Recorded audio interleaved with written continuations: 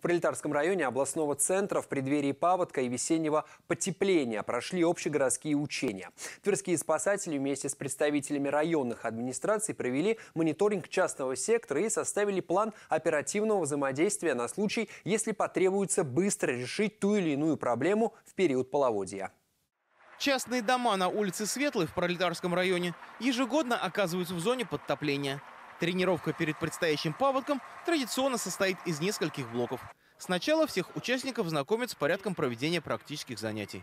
Последовательность работы при обнаружении подтопления. То есть сигнал поступает э, на ЕДДС. ЕДДС сигнал передает оперативную группу управления по обеспечению безопасности жизнедеятельности населения.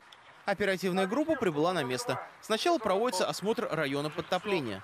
Вот такие вешки устанавливают, чтобы посмотреть, насколько поднялась вода. Следующий этап – подомовой обход. Специалисты эвакуационных комиссий должны посетить каждый дом, чтобы узнать, что необходимо жителям. Самое главное – это работа с населением. Чтобы нам четко понимать обстановку, для этого привлекаются также силы и средства, которые способны проводить разведку в местах подтопления. Вот конкретно данный участок у нас, к сожалению, подвержен именно паводку ежегодно. Но, тем не менее, вот такая вот погода, когда такие температурные качели ночью минус а днем плюс позволяет как бы избежать такие серьезные подтопления на данном участке. С помощью техники муниципального предприятия ЖЭК идет прочистка дренажных канав. За зиму здесь скапливается много мусора. Затем вот такая каналопромывочная машина промывает трубы горячей водой. При необходимости можно использовать помпу, которая откачивает воду с затопленных участков.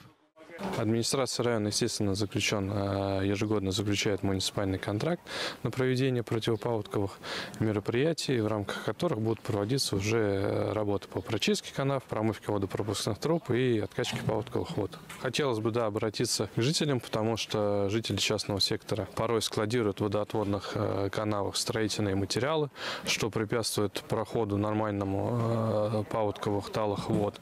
Противопаводковые мероприятия проходят во всех районах города. Улицы, где с началом стабильного потепления высока вероятность подтопления, находятся на особом контроле. Специалисты районных администраций и спасатели проводят мониторинги территорий. Администрациями районов заключены контракты на проведение плановых работ по прочистке сетей ливневой канализации и дренажных канав, а также проверке запорной арматуры на системах водоотведения.